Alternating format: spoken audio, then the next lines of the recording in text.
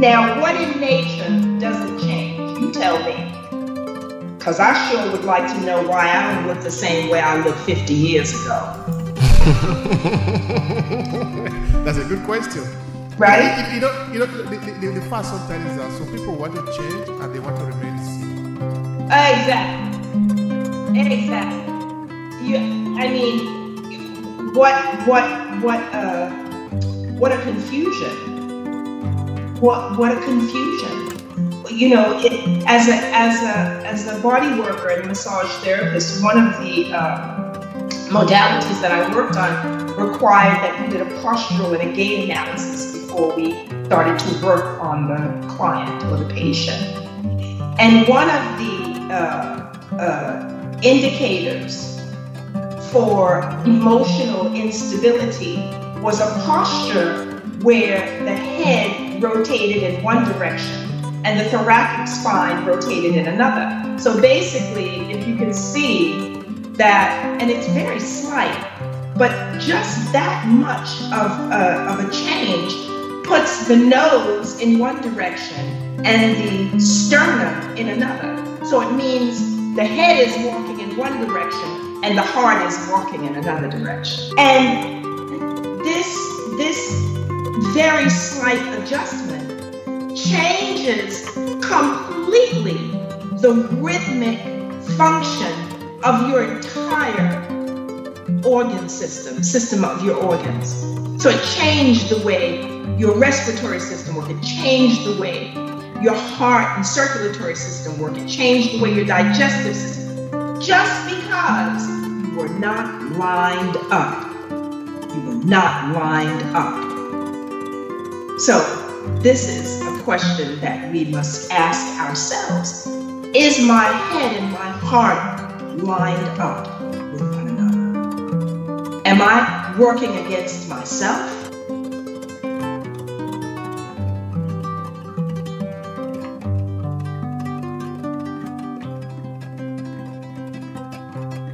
Or am I working with myself? Do I trust myself? I can't possibly trust myself if I'm moving in one direction and the other part of me is moving in another. So self examination is critical. So true. yeah, it's critical. All right. Um, you were also saying something in line with um, living your life, your best life, in the service of other. And yes. again, this is in, in what we have discussed before, no?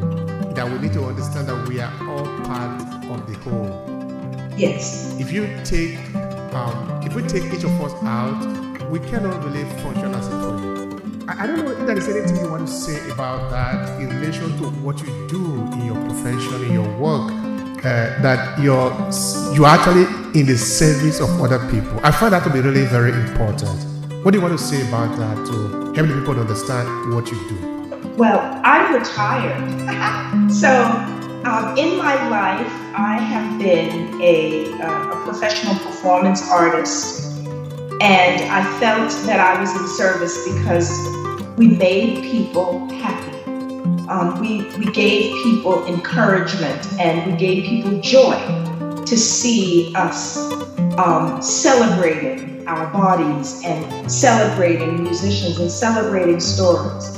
I was a teacher, so I, I, I taught I taught dance and um, and uh, performing arts to students over a period of 20 years and influenced very many, um, very many of whom I'm still in contact with, which which I, I think is incredible. I have a student that I worked with in the in the 80s, in the 1980s, and he somehow found me um, through social media and told me that he was living in Australia and he often talked to his wife about me because of the way he was influenced by what he learned from me. And he works as a, an emergency, a, a an, an, uh, an emergency health person. So he drives an ambulance and they go and pick people up. I guess they, he's an EMS service person. And I just thought, God, from going from being a dancer to working in emergency services on the other side of the world, that someone carried my name to the other side of the world in a positive way. That's powerful.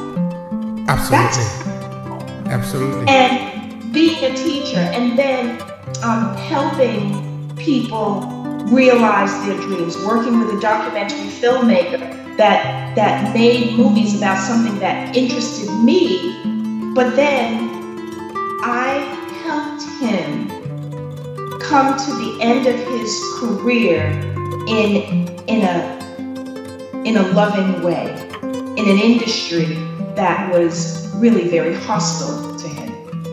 And then to um, come repatriate back to the United States, because I was living in Europe at the time, uh, repatriating back to the United States and working in the arts and helping other artists navigate funding and navigate uh, organization, administration and organization, and then, you know, working going after 9-11 going to texas to work in um, scientific science and scientific research and development in um, in uh, in technology how do you do that i told you i'm a college dropout right i told you that i'm a dancer right how do you go from being a dancer to being involved in scientific research and development at NASA by saying, Yes,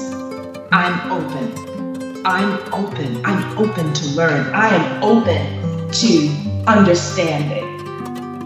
God bless. This was, um, again, six degrees of separation. Again, um, I went to Texas to work with Dr. Mae Jemison, the first African American female astronaut to go into space. And, and it was incredible working with her and getting to know her. And you talk about multiple intelligences. Good God. It was because of her that I realized how smart I was. I didn't know that until I met her.